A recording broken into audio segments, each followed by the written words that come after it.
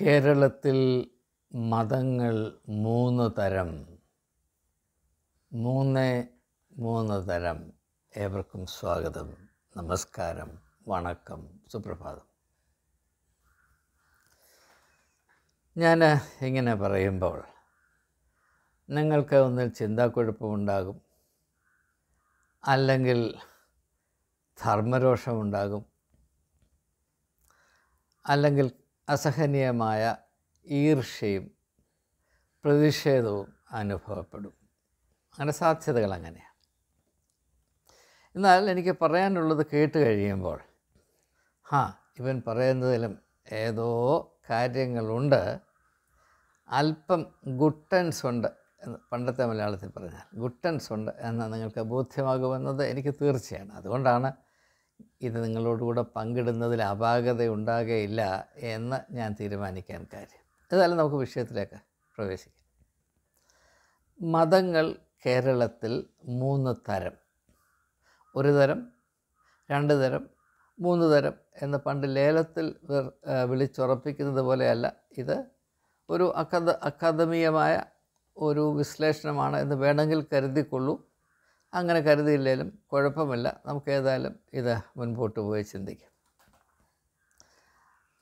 ആദ്യമായി ഈ മൂന്ന് തരത്തിലുള്ള മതങ്ങൾ ഏതാണ് എന്ന് ഓരോരോ വാക്കുകളിൽ സൂചിപ്പിച്ചിട്ട് എന്തുകൊണ്ടാണ് ഞാൻ ഈ മൂന്നിനെയും ഒരു പക്ഷേ ആരും സാധാരണ അവയെ കൂട്ടിയിണക്കി ചിന്തിക്കാൻ ധൈര്യപ്പെടുകയില്ല എങ്കിലും ഈ ഉള്ളവൻ എന്തുകൊണ്ടാണ് അവ പരസ്പര ബന്ധമുള്ളതും പരസ്പര പൂരിതമാണ് ആയതും ഒന്ന് മറ്റതിന്റെ കണ്ണാടി ഇമേജ് മിറർ ഇമേജ് ആണ് എന്ന് ഞാൻ പറയുവാൻ കാരണം എന്താ എന്ന് വസ്തുനിഷ്ഠമായി നമുക്ക് ചിന്തിക്കുവാനിടയാകും എന്നാണ് എന്റെ പ്രതീക്ഷ. ഏതാണ് ഈ മൂന്ന് തരത്തിലുള്ള മതങ്ങൾ? ഒന്ന് കത്തോലിക്ക മതം അതുപോലെ തന്നെ അത് പ്രതിനിധാനം ചെയ്യുന്ന എല്ലാ മതങ്ങളും എല്ലാ മതങ്ങളും ഒരേ ഒരു അച്ചിൽ നിന്ന് വാർത്തെടുത്തതാണ് എന്ന് ഞാൻ പറയുമ്പോൾ ക്രിസ്ത്യാനികളായ എന്റെ സഹോദരി സഹോദരങ്ങൾ എന്നോട് നന്നേ കയർക്കും. കാരണം അവർ ധരിച്ചിരിക്കുന്നത് നേരെ മറിച്ചാണ്. ഞാൻ എന്തുകൊണ്ടാണ് ഇങ്ങനെ പറയുന്നതെന്ന് ഒക്കെ നിങ്ങൾക്ക് ഇതിൽ കൂടെ വെളിപ്പെട്ട് വരും. ദയവായി ഒന്ന് സഹിക്കുക. രണ്ടാമത്തെ മതമാണ് സംഘപരിവാർ. എന്തുകൊണ്ടാണ് അതൊരു മതമാണ് എന്ന് ഞാൻ പറയുന്നത്? എന്നും നിങ്ങളോട് വെളിപ്പെടുത്തുവാൻ എനിക്ക് കടമയുണ്ട്. ആ കടമ ഞാൻ നിർവഹിക്കുന്നതായിരിക്കും. മൂന്നാമത്തെ മതമാണ് മാർക്സിസ്റ്റ് പാർട്ടി. അപ്പോൾ മൂന്ന് കാര്യങ്ങൾ ഓർക്കാൻ വളരെ എളുപ്പമാണ്. കത്തോലിക്ക മതം സംഘപരിവാർ മാർക്സിസ്റ്റ് പാർട്ടി. അപ്പോൾ ഇത് തമ്മിലുള്ള സാം എന്താണ് സിമിലാരിറ്റി എന്താണ്? സാമ്യത എന്താ എന്തൊക്കെയാണ്? എന്തുകൊണ്ടാണ് അവ ഇപ്രകാരം ഒരേ അച്ചിൽ നിന്നിറങ്ങിയതുപോലെ പ്രവർത്തിക്കുന്നത്? ഈ ഒരു യാഥാർത്ഥ്യം തിരിച്ചറിയുന്നതുകൊണ്ട് നമ്മുടെ നിലപാടിൽ എന്തെങ്കിലും മാറ്റം വരുത്തണോ വേണ്ടയോ? ഇങ്ങനെയുള്ള അന്വേഷണ കഷണങ്ങളാണ് ഈ ഒരു വീഡിയോയുടെ ഉള്ളടക്കമെന്ന് ആമുഖമായി ഒന്ന് പറയുകയാണ്. നാം കത്തോലിക്ക മതത്തെ ഒന്ന് പരിശോധിക്കുമ്പോൾ അത് എല്ലാ മതങ്ങളുടെയും ഒരു പ്രതിനിധി എന്ന നിലയിലാണ് ഞാൻ ഇവിടെ സൂചിപ്പിക്കുന്നത്. അതുകൊണ്ട് കത്തോലിക്ക മതമെന്ന് ഞാൻ പറയുമ്പോൾ ഹിന്ദു മതവും ഇസ്ലാമും ക്രിസ്ത്യാനിറ്റിയും ബൗദ്ധമതവും പിന്നെ കേരളത്തിൽ ഇപ്പോൾ സർദാർജിമാരൊക്കെ കൂടുതൽ കൂടുതലായി വരുന്നത് കൊണ്ട് അവരുടെ മതവും എല്ലാവരുടെയും മതവും എല്ലാ മതങ്ങളും ആത്യന്തികമായ ഒന്നാണ്. അതിന്റെ ഘടന നിങ്ങളൊന്ന് പരിശോധിച്ചാൽ അതിലൊരു പോപ്പ് ഉണ്ടായിരിക്കും അത് പോപ്പെന്ന് പറയുമ്പോൾ അതിന്റെ ആ തത്വമാണ് അതിന്റെ ആവിഷ്കാരങ്ങൾ വ്യത്യാസമായിരിക്കും ഇപ്പോൾ.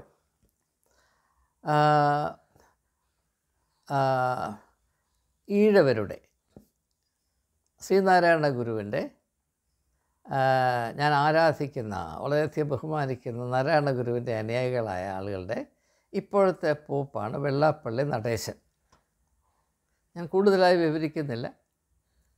അതുപോലെ തന്നെ നായർ സമൂഹത്തിന്റെ പോപ്പാണ് സുകുമാരൻ സുകുമാരൻ നായർ. അങ്ങനെ ഓരോരോ മതത്തിന് അതിന്റേതായ പോപ്പുകളുണ്ട്. ഇസ്ലാം മതം ഒരു പൗരോഹിത്യ മേൽക്കോയ്മ അധികം വഷളാക്കാതിരുന്ന ഒരു മതമാണ്. അതൊരു വലിയ നന്മയായിട്ടാണ് ഞാൻ മനസ്സിലാക്കുന്നത്. എവിടെയൊക്കെ പുരോഹിതന്മാർ അവരുടെ കൈ ഇട്ടിട്ടുണ്ടോ അവിടെയൊക്കെ അവർ കുളമാക്കിയിട്ടുണ്ട്. പുരോഹിത ശല്യം ഏറ്റവും കൂടി നിൽക്കുന്നത് ക്രിസ്തു മതത്തിലാണെന്ന് പറയുമ്പോൾ. അതുകൊണ്ടാണ് ഞാൻ എല്ലാ മതങ്ങളുടെയും പ്രതിനിധിയായി ക്രിസ്തു മതത്തെയും ക്രിസ്തു മതത്തിന്റെ പ്രതിനിധിയായി കത്തോലിക്ക സഭയും എടുത്തത് കാരണം ഈ പുരോഹിത മേൽക്കോയ്മ അതിന്റെ ഉച്ചകോടിയിൽ നിൽക്കുന്നത് കത്തോലിക്ക സഭയിലാണ്. ദൈവത്തിന് പോലും സഭയ്ക്കുള്ളിൽ കാലുകുത്തണമെങ്കിൽ സഭ അധികാരികളുടെ പോപ്പിന്റെ അനുവാദം വേണം. പോപ്പിനെ ഭയന്ന് വേണം ദൈവത്തിന് നിൽക്കാനെന്ന് പറയുമ്പോൾ പല ക്രിസ്ത്യാനികളും പല എന്താ കത്തോലിക്കരും കുറു കുറുവടി എടുത്തുകൊണ്ട് എന്റെ നേരെ പാഞ്ഞു വരും. പക്ഷേ നിങ്ങൾ പ്രാവർത്തികമായി ചിന്തിച്ചാൽ അത് മാത്രമാണ്. അതിന് പല വശങ്ങളുണ്ട്. ഞാൻ അത് അതെല്ലാം പറഞ്ഞാൽ ഇവിടെ എന്റെ സമയം കൈവിട്ടു പോകും. അതുകൊണ്ട് അങ്ങനെ പോകുന്നില്ല. അപ്പോൾ ഒരു കത്തോലിക്കനെ സംബന്ധിച്ചിടത്തോളം അവന്റെ ആത്യന്തികമായ കൂറ് പോപ്പിനോടായിരിക്കും. ക്രിസ്തുവിനോടോ ദൈവത്തോടോ ആയിരിക്കില്ല പോപ്പിനോട്. അത് കഴിഞ്ഞുള്ള കാര്യം മതി. അങ്ങനെ അല്ല എന്നാരെങ്കിലും പറയട്ടെ. എന്ന് മാത്രവുമല്ല അങ്ങനെയുള്ള ഒരു കാഴ്ചപ്പാട് നിലനിൽക്കുന്നത് കൊണ്ട് അതായത് ചക്രവർത്തി തുല്യമായി ഒരു സഭാ വിഭാഗത്തെ ഒരു മതവിഭാഗത്തെ അടക്കി വാഴുന്ന പോപ്പിന്റെ കീഴിൽ സ്ഥിതി ചെയ്യുന്ന ഈ മത സാമ്രാജ്യം റിലീജിയസ് എംപയർ അതിന്റെ പ്രവർത്തന രീതികൾ അതിനോട് അനുയോജ്യമായിട്ടുള്ളതാണ്. അത് നമുക്ക് പ്രാദേശിക തലത്തിൽ ചിന്തിക്കുമ്പോൾ കുറച്ചുകൂടെ വെളിപ്പെട്ട് വരും. ഇപ്പോൾ സിറു മലബാർ സഭയുടെ ജീവിതത്തിൽ സ്ഥിതി ചെയ്യുന്ന ആ സംഘർഷം എന്താണ്? സിനഡ് കൂടി ഒരു തീരുമാനമെടുത്തു. ഈ സിനഡിൽ വിശ്വാസികൾക്ക് അയ്മേനികൾക്ക് പുരോഹിതരല്ലാത്ത ആർക്കും പ്രവേശനമില്ല. ഈ സിനഡ് എടുക്കുന്ന തീരുമാനങ്ങൾ നടപ്പിൽ വരുത്തേണ്ടത് അത് അനുഭവിക്കേണ്ടത് അതിന്റെ നന്മയും തിന്മയും കൈക്കൊള്ളേണ്ടത് പുരോഹിതവർഗമല്ല സാധാരണ ജനമാണ്. അവരെ പറ്റിയുള്ള കാര്യങ്ങൾ നിശ്ചയിക്കുമ്പോൾ ആ തീരുമാനങ്ങൾ എടുക്കുന്ന സമിതിയിൽ ആ എക്സ് ബോഡിയിൽ ലെജിസ് ലെജിസ്ലേറ്റീവ് ബോഡിയിൽ കൂട്ടത്തിൽ ജനങ്ങൾക്ക് പ്രാതിനിധ്യമില്ല. അത് മതത്തിൽ മാത്രമേ അങ്ങനെ സംഭവിക്കുകയുള്ളൂ. കാരണം മതത്തിന്റെ കാഴ്ചപ്പാടിൽ എന്തെങ്കിലും ഒരു നിയമമോ ഒരു നിബന്ധനയോ ജനങ്ങളുടെ മേൽ അടിച്ചേൽപ്പിക്കണമെങ്കിൽ എക്കാലത്തും ഉപയോഗിച്ചുകൊണ്ടിരുന്ന തന്ത്രമാണ് ദൈവം പറഞ്ഞു എന്ന് പറയും. ദൈവം പറഞ്ഞു. പാവം ദൈവം. അറിഞ്ഞതോ കേട്ടതോ ആയിരിക്കത്തില്ല. പച്ചക്കള്ളമാണ്. പക്ഷേ ജനത്തോട് പറയും ദൈവം പറഞ്ഞു എന്ന് പറയുമ്പോൾ എല്ലാവരും ഉള്ളിൽ പ്രതിഷേധമുണ്ടെങ്കിൽ അടി അതും കടിച്ചമർത്തി ഇത് അതുപോലെ തലയിലേറ്റും. ഇതാണ് ഇങ്ങനെയാണ് മതങ്ങൾ പ്രവർത്തിക്കുന്നത് എന്ന് നിങ്ങൾക്കറിയാം. ഈ ഒരു തത്വമില്ലാത്ത ഒരു മതവും നിങ്ങൾക്ക് ലോകത്തിൽ കാണുവാൻ സാധ്യമല്ല. ആദ്യകാലങ്ങളിലെല്ലാം ദൈവം പറഞ്ഞു. അത് കഴിഞ്ഞ് ഈ ദൈവം പറഞ്ഞതിനെ ആശ്രയിച്ച് ഒരു മത സംവിധാനം ആവിഷ്കരിക്കും. അങ്ങനെ സ്ഥാപനവൽക്കരിക്കപ്പെട്ട മതത്തിൽ പിന്നെ പ്രവർത്തിക്കുന്നത് മുഴുവനും നിയമങ്ങളായിരിക്കും. ആ നിയമങ്ങൾ ആരാണ് ഉണ്ടാക്കിയത്? ദൈവമല്ല മനുഷ്യരാണ് ഉണ്ടാക്കിയത്. പക്ഷേ മനുഷ്യനങ്ങനെ അവരുടെ ബുദ്ധിയും താല്പര്യവും അനുസരിച്ച് നിയമങ്ങൾ ഉണ്ടാക്കി ജനങ്ങളുടെ മേൽ അടിച്ചേൽപ്പിക്കാനുള്ള സാഹചര്യം എങ്ങനെയാണ് ഉണ്ടാക്കുന്നത്? ആരാണ് ഉണ്ടാക്കുന്നത്? ദൈവമാണ് ഉണ്ടാക്കുന്നത്. ദൈവം എങ്ങനെ ചെയ്തു ദൈവം പറഞ്ഞു. അല്ലെങ്കിൽ കൽ കൽപ്പലകയിൽ എഴുതി ഇങ്ങനെ തീ കൊണ്ട് എഴുതി തന്നു. ദൈവം ദൈവം ദൈവം. അത് കഴിഞ്ഞ് സ്വന്തം കാലം നിൽക്കലാകുമ്പോൾ ഞങ്ങൾ ഞങ്ങൾ ഞങ്ങൾ പോപ്പ് പോപ്പ് പോപ്പ് ഇങ്ങനെ പറഞ്ഞുകൊണ്ടിരിക്കും. ഇത് എല്ലാ എല്ലാ മതത്തിലും നിങ്ങൾക്ക് കാണാവുന്നതാണ്. അതുകൊണ്ടാണ് മതത്തെപ്പറ്റി പഠിച്ചിട്ടുള്ളവർ എപ്പോഴും പറയുന്നത്. മതങ്ങൾ ആരംഭിക്കുന്നത് ഒരു ആത്മീയമായ ദർശനത്തിലാണ്. ദൈവം മനുഷ്യരുടെ അവസ്ഥയോട് ഇടപെടുന്ന ആ ഒരു വലിയ സാഹചര്യത്തിലാണ്. എന്നാൽ അതിൽ കൂടെ ആവിർഭവിക്കുന്ന അതി വിലയേറിയ മനോഹരമായ ആശയങ്ങളും അറിവുകളും കയ്യിലെടുത്തുകൊണ്ട് അതിനെ ഒരു സ്ഥാപൽ സ്ഥാപനവൽക്കരിക്കപ്പെട്ട ഒരു മതമാക്കി രൂപീകരിച്ച് കഴിയുമ്പോൾ അതിന്റെ സ്വഭാവം പരിപൂർണമായി മാറിയിട്ട് പിന്നെ ദൈവത്തിന് ഇടമില്ലാതെ ദൈവത്തിന് ഇടമുണ്ട് എന്നൊരു പ്രതീതി സൃഷ്ടിക്കത്തക്കവണ്ണം വല്ല ആരാധനാലയങ്ങളെ ഉണ്ടാക്കി ദൈവത്തെ കല്ല് പോലെ അവിടെ കൊണ്ട് സ്ഥാപിച്ചു എന്ന ജനങ്ങളെ ധരിപ്പിച്ച് അത് പച്ചക്കള്ളമാണ് എന്ന് നമുക്കറിയാം. അങ്ങനെ കല്ലിൽ കല്ലിന്റെ പ്രതിമയിൽ അവിടെ ഇരിക്കുന്ന അല്ലെങ്കിൽ പുരോഹിതൻ അവിടെ വെച്ചിരിക്കുന്ന അൽത്താരയിൽ കയറിയിരിക്കുന്ന ദൈവമില്ല എന്ന് ക്രിസ്ത്യാനിക്കറിയാം. പക്ഷെ അറിയുന്ന കാര്യം സമ്മതിക്കാനുള്ള നട്ടലും സ്വാതന്ത്ര്യവും ക്രിസ്ത്യാനിക്കില്ല എന്നത് മാത്രമാണ്. അപ്പോൾ നാം ഇവിടെ മനസ്സിലാക്കേണ്ട കാര്യം ആത്മീയമായ ആ ഒരു ഒരു ഒരു ഉണർവ് അതിൽ കൂടെ ആരംഭിക്കുന്ന ഈ ഒരു പ്രക്രിയ. തികച്ചും നിയമബദ്ധിതമായ സ്ഥാപനവൽക്കരിക്കപ്പെട്ട ഒരു പ്രതിഭാസമായി ഒരു മതമായി മാറ്റപ്പെടുമ്പോൾ ആ മാറ്റപ്പെടുന്ന പ്രക്രിയയിൽ പ്രവർത്തിക്കുന്നത് മുഴുവനും പച്ചക്കള്ളമായിരിക്കും. സത്യത്തിന് അവിടെ യാതൊരു സ്ഥാനവും ഉണ്ടാകുകയില്ല ഇത് നിങ്ങളെ നിങ്ങളിൽ പലരെയും ചൊടിപ്പിക്കാൻ ഇടയാക്കും നിങ്ങൾക്ക് കോപമുണ്ടാകും എന്നെനിക്കറിയാം. പക്ഷേ നിങ്ങൾ ഈ ഇങ്ങനെയുള്ള കാര്യങ്ങൾ വസ്തുനിഷ്ഠമായി ചരിത്രത്തിന്റെ വെളിച്ചത്തിൽ പരിശോധിച്ചാൽ ഞാൻ പറയുന്നതിൽ സത്യമുണ്ട് എന്നും നിങ്ങൾക്ക് ബോധ്യപ്പെടാൻ സാധ്യതയുണ്ട് ഉണ്ടാകണമെന്നില്ല സാധ്യതയുണ്ട് എന്ന് മാത്രമേ ഞാൻ അവകാശപ്പെടുന്നുള്ളൂ. അപ്പോൾ അതിനുശേഷം ജനങ്ങൾക്ക് ആകെപ്പാടെയുള്ള കടമ. ജനങ്ങൾ തന്നെ സൃഷ്ടിക്കുന്ന എന്ന് പറഞ്ഞാൽ അവരിൽ ചിലരൊക്കെ സൃഷ്ടിക്കുന്ന ഈ സ്ഥാപനവൽക്കരിക്കപ്പെട്ട മതം അത് പിന്നെ ഉണ്ടാക്കുന്ന നിയമാവലികൾ അവയെ പഞ്ചപുച്ഛമടക്കി അനുസരിക്കുക. അതവരുടെ ജീവിതത്തിൽ അർത്ഥവത്താണോ അതിലെന്തെങ്കിലും പ്രസക്തിയുണ്ടോ അതുകൊണ്ട് ജനങ്ങൾക്ക് പ്രയോജനമുണ്ടോ അതോ അവർ ചുമ്മാതെ ചുവണ്ടുകൊണ്ട് നടക്കുന്ന ഹെഡ് ലോഡാണോ തലച്ചുവടാണോ ഇതൊന്നും ചിന്തിക്കുവാനോ അതിനെപ്പറ്റി ഒരു അഭിപ്രായം പറയുവാനോ അവസരമോ അവകാശമോ സാധാരണ ജനത്തിലില്ലാതെ. ഇങ്ങനെ ഒരു അധികാര കേന്ദ്രീ കേന്ദ്രീകൃതമായ ഒരു അധികാരത്തിന്റെ നുഖത്തിന്റെ കീഴിൽ നട്ടം തിരിയുന്ന ഒരു ജനതയായി. മതത്തിൽ കൂടെ മനുഷ്യൻ എക്കാലത്തും വഴുതി പോയിട്ടുണ്ട് അധപ്പതിച്ച് പോയിട്ടുണ്ട് എന്നതാണ് യാഥാർത്ഥ്യം.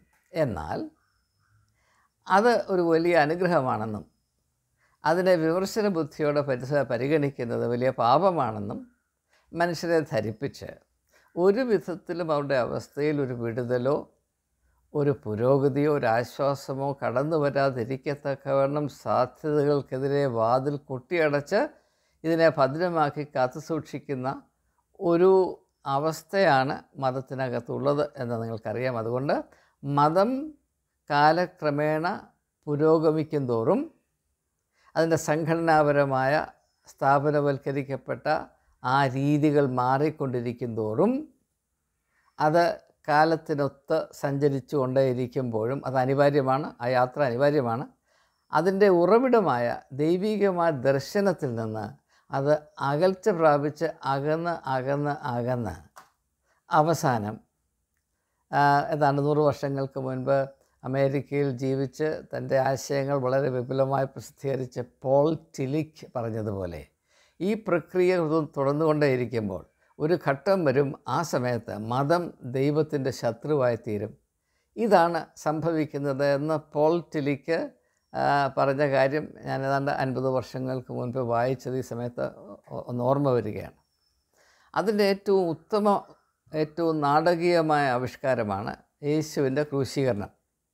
ദൈവപുത്രനും ദൈവപുത്രൻ മനുഷ്യപുത്രനായി കടന്നു വന്ന ഒരു വ്യക്തിത്വമാണ് യേശുവിന്റേത് എന്ന് ക്രിസ്ത്യാനികൾ വിശ്വസിക്കുന്നു. എന്നാൽ അതേസമയം തന്നെ ക്രിസ്ത്യ ക്രിസ്ത്യാനികൾ തിരിച്ചറിയുവാൻ ധൈര്യപ്പെടാത്തൊരു കാര്യം. യേശുവിനെ ക്രൂശീകരിച്ചതാരാണ്? പുരോഹിത വർഗമാണ്.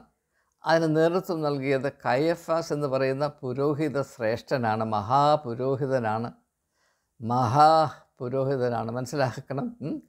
അപ്പോൾ മതം ദൈവത്തിന്റെ ശത്രുവായി തീരും എന്നതിന് ഇതിനേക്കാൾ പ്രകടമായ ഇതിനേക്കാൾ ശക്തമായ ഒരു തെളിവ് ആവശ്യമില്ല എന്നിരിക്കെ ഈ ഒരു മർമ്മത്തെ ഞങ്ങൾ ഒരു കാലത്തും എന്തു വന്നാലും തിരിച്ചറിയുകയില്ല. ഇതിന് വിരുദ്ധമായി മാത്രമേ ഞങ്ങൾ മനസ്സിലാക്കുകയുള്ളൂ. അതേസമയം തന്നെ എല്ലാ ദുഃഖവെള്ളിയാഴ്ചയും ഞങ്ങൾ ഇന്ന് ക്രൂശിനെ ധ്യാനിക്കും. പക്ഷെ ക്രൂശിനെ ധ്യാനിക്കുമ്പോൾ ക്രൂശിന്റെ അർത്ഥം എന്താണെന്ന് ഞങ്ങളോട് പറഞ്ഞു പോകരുത്. അങ്ങനെ പറഞ്ഞു പോയാൽ ഞങ്ങളുടെ മതബോധം തരിപ്പണമാകും. ഇങ്ങനെയുള്ള വളരെ വളരെ രസാവഹമായ ഒരു വിരോധാഭാസത്തിലാണ് ക്രിസ്തു മതം നിലനിൽക്കുന്നത് എന്നത് ഞാൻ മനസ്സിലാക്കിയിരിക്കുന്നു. നിങ്ങളിൽ പലരും പലർക്കും അതിനെപ്പറ്റി ബോധ്യമുള്ളതാണ് എന്നാണ് ഞാൻ കരുതുന്നത്. ഇത് മതത്തിൽ വരുന്ന വൈകല്യമാണ്. അതുകൊണ്ട് മതത്തിന്റെ ഉറവിടമായ ആത്മീകമായ ആ ഉണർവ് തിരിച്ചറിവ് അതിൽ നിന്ന് ഉത്ഭവിക്കുന്ന വലിയ വലിയ ആ അറിവുകൾ ബോധവൽക്കരണങ്ങൾ അവയൊക്കെയും അതുല്യമായ സനാതനമായ വിലയുള്ളതും അതിന്റെ വെളിച്ചം അസ്തമിക്കാത്തതുമാകുന്നു എന്ന് ഞാൻ സാക്ഷ്യപ്പെടുത്തുകയാണ്. തെറ്റിദ്ധരിക്കരുത്. ആ വെളിച്ചത്തിന് പിൽക്കാലത്ത് ഏൽക്ക ഏറ്റെടുക്കേണ്ടി വന്ന വികൽ എന്താണ് വൈരൂപ്യങ്ങളെയാണ്. പാളിച്ചകളെയാണ് അല്ലെങ്കിൽ വികൃതികളെയാണ് ഞാൻ ഇവിടെ സൂചിപ്പിക്കുന്നത്. അപ്പോൾ ജനങ്ങളോട് ഉത്തരവാദിത്വമില്ലാതെ ജനങ്ങളുടെ ജീവിത അവസ്ഥകളോട് ശ്രദ്ധ കൊടുക്കേണ്ട ആവശ്യമില്ലാതെ കേന്ദ്രീകൃതമായ ഒരു അധികാരത്തിന്റെ തലപ്പത്തിരിക്കുന്ന ഒരു പുരോഹിത രാജാവ് പോപ്പ് എന്ന് പറയുന്ന രാജാവാണ്. ക്രിസ്തുമതത്തിന്റെ രാജാവാണ് പോപ്പ്. ഒരു രാജാവിനെ പോലെ തന്നെയാണ് പോപ്പ് ഉണ്ടായ ആ ഒരു പേപ്പൽ ഓഫീസ് ഉണ്ടായപ്പോൾ തൊട്ട് ഇന്ന് വരെയുള്ളത് ഇപ്പോൾ പോപ്പ് ഫ്രാൻസിസ് അതിനൊരു മാറ്റം വരുത്താനായിട്ട് ശ്രമിക്കുന്നു. അതുകൊണ്ട് അദ്ദേഹത്തെ പുച്ഛിക്കുന്ന അനേകം അനേകം ബുദ്ധിമാന്മാരായ കത്തോലിക്കരുണ്ട് എന്നുകൂടെ ഞാൻ സൂചിപ്പിക്കട്ടെ. പോപ്പിനെ നിഷ്കാസനം ചെയ്യണം എക്സ് എക്സ് കമ്മ്യൂണിക്കേറ്റ് ചെയ്യണം. എന്ന് വളരെ ശക്തമായി വാദിക്കുന്ന ബുദ്ധിമാന്മാരായ നല്ല തലയെടുപ്പുള്ള തലയ്ക്ക് നന്നേ വട്ടുള്ള കത്തോലിക്ക ബുദ്ധി രാക്ഷസന്മാരുണ്ട് എന്നുകൂടെ ഞാൻ ഈ സമയത്ത് അതിനെപ്പറ്റി കൂടുതലായിട്ടൊന്നും പ്രതിപാദിക്കാൻ മനസ്സനുവദിക്കുന്നില്ല. എന്തിനാണ് ഇങ്ങനെയുള്ള കാര്യങ്ങൾ പറയുന്നത് എന്നുകൊണ്ട് മാത്രം ഞാനതങ്ങ് ഉപേക്ഷിക്കുകയാണ്.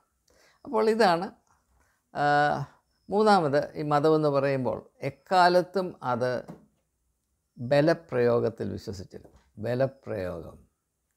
ആത്മീയതയിൽ വരുമ്പോൾ യേശു പറഞ്ഞു വാൾ താഴെയിട്ടു വാളെടുക്കുന്നവൻ വാളാൽ നശിച്ചു പോകുമെന്ന് പറഞ്ഞു. പക്ഷേ ആ ആ ആത്മീകമായ ദർശനത്തിലെന്ന് പറഞ്ഞ് സ്ഥാപനവൽക്കരിക്കപ്പെട്ട് ക്രിസ്തു മതമുണ്ടായി കഴിയുമ്പോൾ അത് ആശ്രയിക്കുന്നത് ദൈവികമായ അറിവുകളെയും അച്ചടങ്ങളെയുമല്ല അച്ചടക്കത്തെയുമല്ല. ഭുജബലത്തിലാണ് ഭുജബലം ബലപ്രയോഗം അത് ഇല്ലാതെ ഒരു കാലത്തും മതം പ്രവർത്തിച്ചിട്ടില്ല പ്രവർത്തിക്കുകയുമില്ല. പിന്നെ രാഷ്ട്രീയമായ വലിയ മാറ്റങ്ങൾ വന്നു. രാജാവിന്റെ കാലം പോയി. അതിനുശേഷം ജനായത്ത രീതി വന്നപ്പോൾ അങ്ങനെ കയറി ബലം പ്രയോഗിക്കാനുള്ള സാഹചര്യം അങ്ങ് തീരെ നശിച്ചു പോയതുകൊണ്ടാണ് കുറച്ചുകൂടെയൊക്കെ മാനം മര്യാദയ്ക്ക് നിൽക്കുന്നത് എന്ന് ഞാൻ പറഞ്ഞ വലിയൊരു ഭാഗമാണ്. അതും ഞാൻ അങ്ങ് ചുരുക്കുകയാണ്. അപ്പോൾ ദൈവികമായ ഉറവിടം അതിനെ കൈയാളുന്ന ഒരധികാര കേന്ദ്രം ജനങ്ങളോട് ഉത്തരവാദിത്വ ബോധമില്ലാതെ പ്രവർത്തിക്കുവാൻ ലൈസൻസ് പ്രാപിച്ച ഈ അധികാര കേന്ദ്രം ആ അധികാര കേന്ദ്രത്തിന് ഉപയോഗിക്കുവാൻ ഏത് സമയത്തും പ്രയോഗിക്കുവാൻ ലൈസൻസ് ഉള്ള ബലപ്രയോഗം ക്രൂവൽറ്റി വയലൻസ് എന്താണ് പറയുന്നത്. Belligerence domination physical domination intimidation ബലപ്രയോഗം എല്ലാറ്റിനും ഉപരിയായി. പണത്തിലുള്ള നിരുപാധികമായ ആശ്രയം. Every religion subsists not on God but on money money money അല്ലെന്ന് ആർക്കെങ്കിലും എന്നോട് പറയാമോ? ദൈവത്തിന്റെ പേര് പറയുകയും മാമോനെ സാഷ്ടാംഗം വീണ് നമസ്കരിക്കുകയും ചെയ്യുന്ന ഒരു ഒരു ഒരു സംവിധാനമാണ് മതമെന്നാണ് ഞാൻ മനസ്സിലാക്കി അനുഭവത്തിൽ കൂടെ വളരെയധികം അന്വേഷിച്ചും ചിന്തിച്ചും കാര്യങ്ങൾ മനസ്സിലാക്കി ഉത്തരവാദിത്വ ബോധത്തോടെ ഞാൻ നിങ്ങളെ അറിയിക്കുകയാണ്. പച്ചക്കള്ളമാണിത്. ദൈവത്തിന്റെ പേര് വൃഥ എടുക്കുന്നവരാണിവർ. ദൈവം ദൈവമെന്ന് പറയുകയും മാമോന്റെ ഔദാര്യങ്ങൾ പിടിച്ചു പറ്റി അതുകൊണ്ട് മാത്രം അർമാദിക്കുകയും ചെയ്യുന്നൊരു കൂട്ടമാണിത്. എന്നതിനെപ്പറ്റി എനിക്ക് സംശയമില്ല. പക്ഷേ അത് മനസ്സിലാക്കാൻ ധൈര്യമുള്ളവർ നന്നേ കുറവാണ് എന്നെനിക്കറിയാം. അതുകൊണ്ട് അങ്ങനെയുള്ളവർ ഇതിനോട് പ്രതികരിക്കുന്നത് പ്രകാരമായിരിക്കുമെന്നും എനിക്കറിയാം. എനിക്കതിൽ പരിഭവമില്ല. പക്ഷേ സത്യം വിളി വിളിച്ചറിയിക്കുക എന്റെ കടമയായതുകൊണ്ട് ഞാൻ ആ കടമ നിർവഹിക്കുന്നു. കാരണം എന്റെ നാളുകൾ എണ്ണപ്പെട്ടിരിക്കുന്നു. എന്നെനിക്ക് നന്നേ നന്നേ നന്നേ ബോധ്യമുള്ളത് കൊണ്ടാണ് ഞാൻ എന്റെ കണ്ണടയ്ക്കുമ്പോൾ ഇന്ന ശുശ്രൂഷ ചെയ്യാൻ എനിക്ക് അവസരമുണ്ടായിട്ട് ഞാനത് ചെയ്തില്ലല്ലോ എന്ന ഒരു സ്വയനിന്ദയുടെ അവസ്ഥയിൽ ഈ മനോഹരമായ ഭൂമിയിൽ നിന്ന് അറ്റുപോകരുത് എന്നെനിക്ക് നിർബന്ധമുണ്ട്. അതുകൊണ്ടാണ് ഞാൻ ഞാനുള്ള കാര്യങ്ങൾ സാക്ഷ്യപ്പെടുന്നത്. അപ്പോൾ ഇതാണ് മതം. ഇനി നമുക്ക് സംഘപരിവാറിനെ ഒന്ന് പരീക്ഷിച്ചാൽ. അത് തന്നെയാണ്. സംഘപരിവാറിനൊരു പോപ്പുണ്ട്. അദ്ദേഹത്തിന്റെ പേരാണ് ഇപ്പോൾ മോഹൻ ഭഗവത് എന്ന് പറയും. ആർ എസ് എസിന്റെ സർ ചഞ്ചാലക്. മുഖ്യ ഭരണാധികാരി എന്ന് പറഞ്ഞാൽ നമ്മുടെ ഭാഷയിൽ പറഞ്ഞാൽ മോഹൻ ഭാഗവത് അല്ലെങ്കിൽ അദ്ദേഹത്തിന്റെ തസ്തികയിൽ അതിന് മുമ്പിരുന്ന എവരും ഹിന്ദുത്വയുടെ പോപ്പാണ്. ഹിന്ദുത്വയുടെ പോപ്പാണ് മോഹൻ ഭാഗവത്. ഹിന്ദു മതത്തിന് ഒരു നല്ല മേന്മയുണ്ടായിരുന്നു. അതെന്താണെന്ന് ചോദിച്ചാൽ ഹിന്ദു മതത്തിന് പോപ്പില്ലായിരുന്നു. എന്നാൽ നാലഞ്ച് പോപ്പുമാരുണ്ടായിരുന്നു. അവരുടെ പേര് ശങ്കരാചാര്യാസ് എന്നായിരുന്നു പക്ഷേ അവർക്ക് പോപ്പിനുണ്ടായിരുന്നത് പോലെ കേന്ദ്രീകൃതമായ ഒരു അധികാരമോ സൈനിക ഭുജബലമോ വലിയ പണക്കൊഴുപ്പോ അതുപയോഗിച്ച് ജനങ്ങളെ അടിച്ചമർത്തുന്ന ഒരു തന്ത്രമോ രാഷ്ട്രീയമോ ഒന്നും അവർക്കില്ലായിരുന്നു.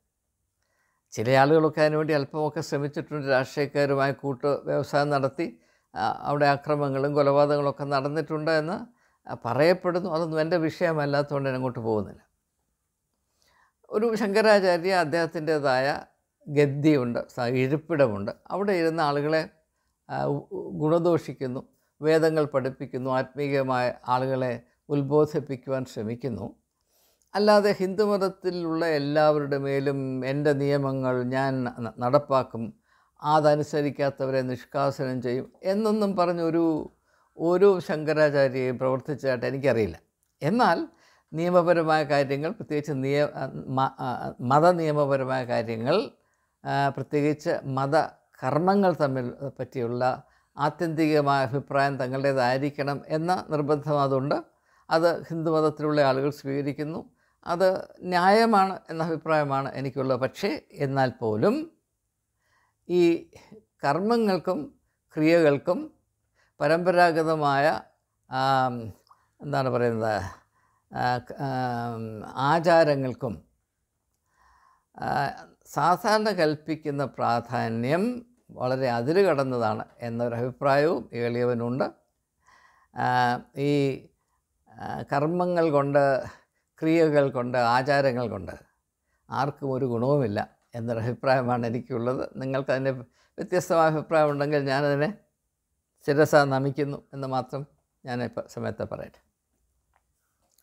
എന്നാൽ അങ്ങനെ ഹിന്ദുമതത്തിന് കേന്ദ്രീകൃതമായ ഒരു ഉച്ചകോടിയിലുള്ള അധികാര കേന്ദ്രം ഇല്ലാതിരുന്നതാണ് ഹിന്ദുമതത്തിന്റെ ബലഹീനത എന്ന ഒരു ചിന്താഗതി ഏതാണ്ട് ഒരു നൂറ് നൂറ്റി മുപ്പത് വർഷങ്ങൾക്ക് മുൻപ് ഉടലെടുക്കുകയും അതുകൊണ്ട് ഹിന്ദുമതത്തിൽ വിശാലമായ ഒരു ഐക്യത്തിന് വേണ്ടി ശ്രമിക്കുകയും ചെയ്യണം എന്ന ഭാരതത്തിന്റെ സ്വാതന്ത്ര്യ സമരത്തിൽ ചുമതലയെടുത്ത ആളുകൾ ഒരു പരിധി വരെയും അതിനേക്കാൾ അങ്ങ് വളരെ മുൻപോട്ട് പോയി. ആർ എസ് എസിന്റെ സ്ഥാപകരായിട്ടുള്ള ആളുകൾ ഹെഗേവാർ തൊട്ട് പിന്നെ അങ്ങോട്ടുള്ള പല നേതാക്കന്മാർ ഗുരു ഗോൾവാക്കർ അങ്ങനെയുള്ളവർ മനസ്സിലാക്കുകയും പ്രത്യേകിച്ച് വീർ സർവാക്കർ ഹിന്ദു സമൂഹത്തിൽ ഐക്യമുണ്ടാകുന്നതിന് വേണ്ടി ഹിന്ദു മതം ഒരിക്കലും സഹായിക്കുകയില്ല. ഐക്യത്തിന് ഹിന്ദുമതം ഒരു വിലങ്ങതടിയാണ് അതുകൊണ്ട് മതത്തിൽ നിന്ന് സംസ്കാരത്തിലേക്ക് നമ്മുടെ ഊന്നൽ മാറ്റണം എന്നതാണ് ആയിരത്തി തൊള്ളായിരത്തി ഇരുപത്തി മൂന്നിൽ വീര സർവാക്കർ രചിച്ച ഹിന്ദുത്വ എന്ന പുസ്തകത്തിന്റെ പ്രധാനപ്പെട്ട ആശയം. അത് എവർക്കും പരിചയമുള്ളതാണ്. അതിനെപ്പറ്റി കൂടുതലായി ഞാൻ പറയുന്നില്ല.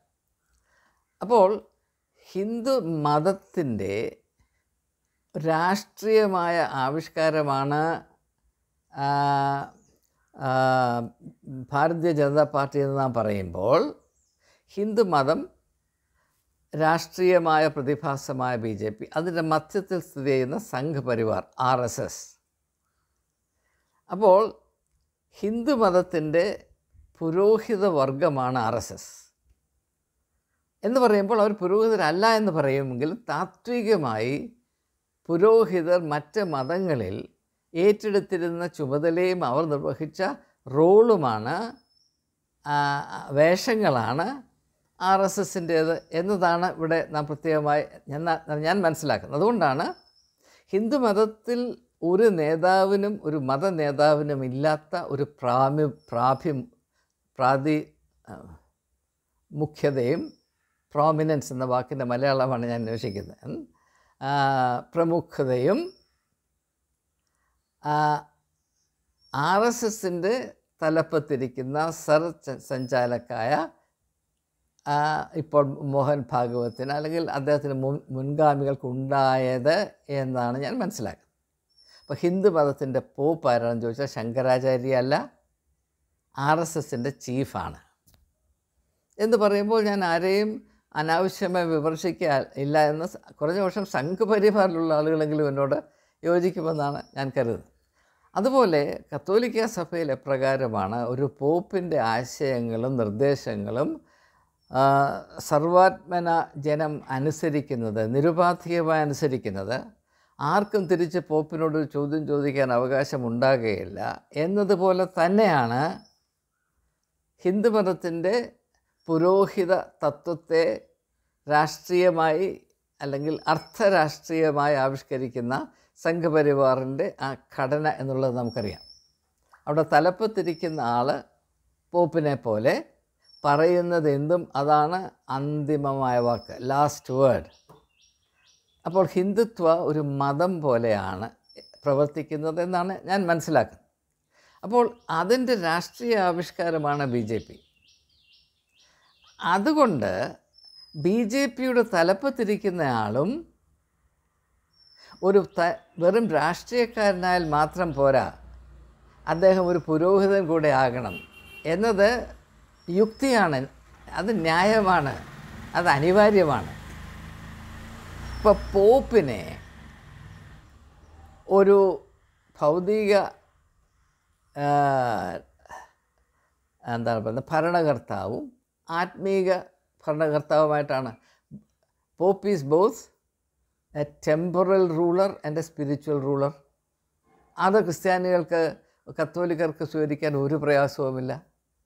ഇപ്പോൾ ബുദ്ധമതത്തിൽ നോക്കുമ്പോൾ Dalai Lama is both a spiritual leader and a temporal leader അവിടെ രാജാവും അവിടെ ആത്മീയ ഗുരുവും ദലൈലാമയാണ് യാതൊരു പ്രശ്നമാർക്കുമില്ല.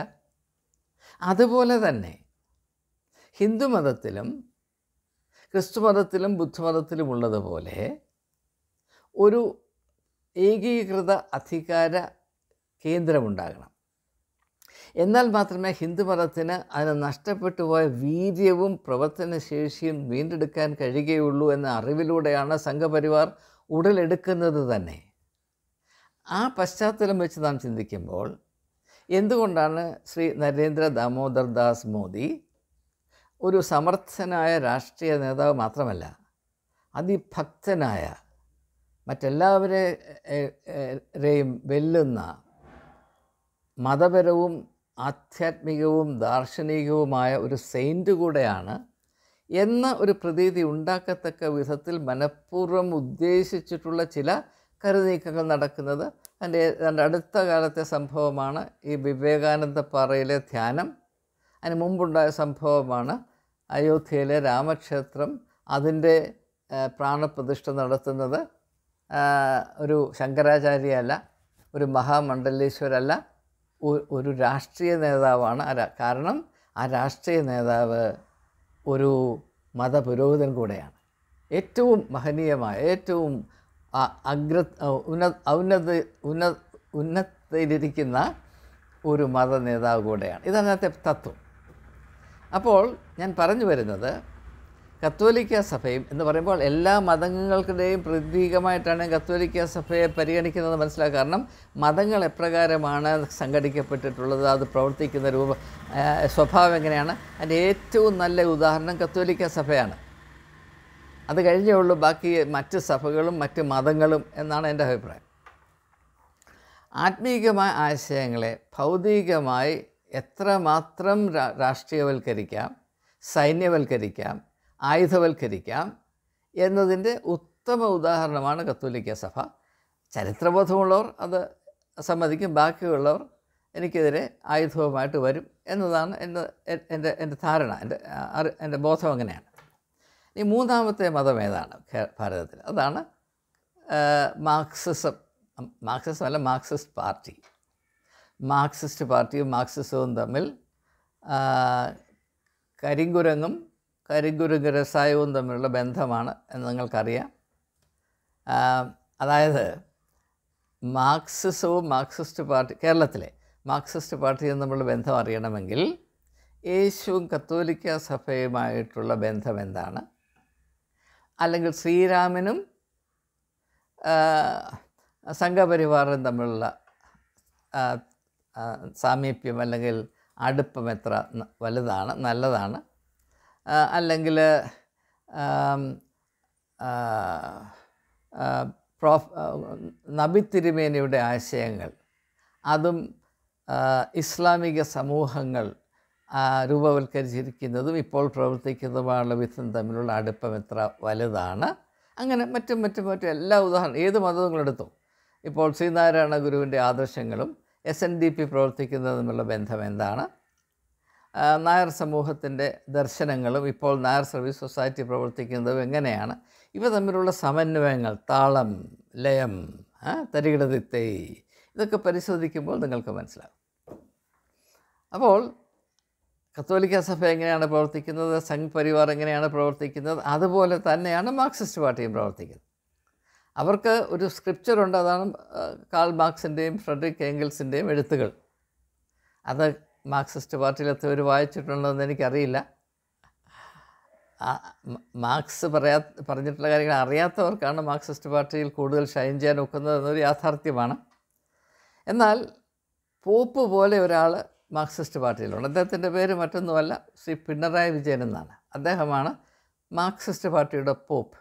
അപ്പം മാർക്സിസത്തിന്റെ പൗരോഹിത്യ ആവിഷ്കാരമാണ് Marxist party. The Marxist party in Kerala is a priestly reconfiguration of Marxism.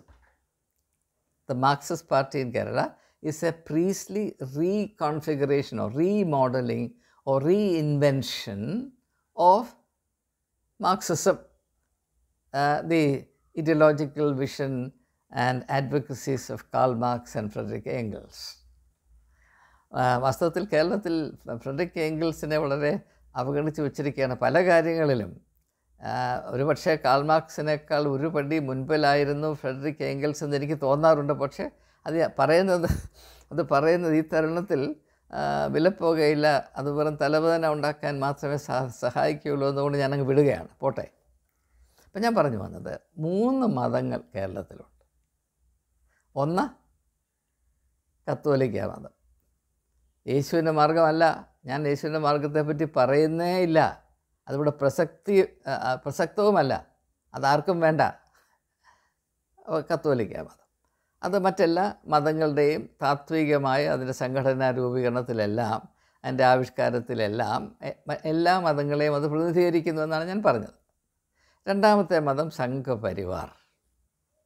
അത് ഹിന്ദുമതത്തിന്റെ പൗരോഹിത്യവൽക്കരിക്കപ്പെട്ട ഒരു പ്രതിഭാസമാണ്. It's a priestly reconfiguration of Hinduism and ചരിത്രത്തിൽ എപ്പോഴും പുരോഹിതന്മാർക്ക് രാഷ്ട്രീയ അധികാര കേന്ദ്രങ്ങളുമായി അവിഹിത ബന്ധമുണ്ടായിരുന്നു. It's a relationship of prostitution between the priestly class and the political centres of power എന്നുള്ള എല്ലാവർക്കും അറിയാം. ഞാൻ അതുകൊണ്ടാണ് അത് കൂടുതലായി കൈകാര്യം ചെയ്യാതിരുന്നത്. മൂന്നാമത് മാർക്സിസ്റ്റ് പാർട്ടി. മാർക്സിസത്തിന്റെ ഒരു പ്രീസ്ലി ആവിഷ്കാരമാണ് മാർക്സിസ്റ്റ് പാർട്ടി. അതുകൊണ്ട് ഇത് മൂന്നും പ്രവർത്തിക്കുന്ന ഒരേ വിധത്തിലാണ്. മൂന്നിനും പോപ്പുകളുണ്ട്. മൂന്നിലും ജനങ്ങൾ അവരെ തന്നെ തന്നെ കീഴ്പ്പെടുത്തണം. ജനങ്ങൾക്ക് വേണ്ടിയാണെന്നൊക്കെ പറഞ്ഞാലും അവരുടെ താല്പര്യമോ അവരുടെ അഭിപ്രായമോ അറിഞ്ഞ് എന്തെങ്കിലും നിർവഹിക്കേണ്ട കടമ ഈ മൂന്ന് പ്രതിഭാസത്തിലുമില്ല. ഈ മൂന്ന് പ്രതിഭാസത്തെയും നിലനിർത്തുന്നതും വളർത്തുന്നതും ശക്തീകരിക്കുന്നതും പണം മാത്രമാണ്. പണം മാത്രമാണ്. പണം മാത്രമാണ്. യാതൊരു വ്യത്യാസവുമില്ല. നിങ്ങളിതിനെപ്പറ്റി ചിന്തിക്കണമെന്ന് മാത്രം വിനീതമായി അപേക്ഷിച്ചുകൊണ്ട് ഇങ്ങനെയുള്ള കിറുക്കന്മാർ മാത്രം പറയുന്ന ആശയങ്ങൾ വല്ലപ്പോഴുമൊക്കെ നിങ്ങളോട് പങ്കിടുവാൻ എനിക്ക് നിങ്ങൾ ദയവായി അല്പം അനുവാദം നൽകണം എന്നുകൂടെ അപേക്ഷിച്ചുകൊണ്ട് വാക്കുകൾ ചുരുക്കുന്നു. നിങ്ങളുടെ പ്രതികരണങ്ങൾ പ്രതികരണങ്ങൾ വളരെ വിലയേറിയതാണ്. ഞാനതിനു വേണ്ടി കാത്തിരിക്കുന്നു. ദയവായി പ്രതികരിക്കുക. നമുക്കങ്ങനെ പരസ്പരം ചിന്തിക്കുവാനും ചിന്തയിൽ പ്രേരിപ്പിക്കപ്പെട്ട് മുൻപോട്ട് പോകുവാനും ഇടയാകട്ടെ. അതിനേക്കാൾ വലിയൊരു അനുഗ്രഹം ഈ കാലഘട്ടത്തിൽ എന്റെ അറിവിലില്ല. അതുകൊണ്ട് ഇതിൽ സഹകരിക്കുന്ന ഏവരോടുമുള്ള എന്റെ നന്ദി. ഒരിക്കൽ കൂടെ ആവർത്തിച്ചുകൊണ്ട് വാക്കുകൾ ഇതാ ഉപസംഹരിക്കുന്നു. നമസ്കാരം.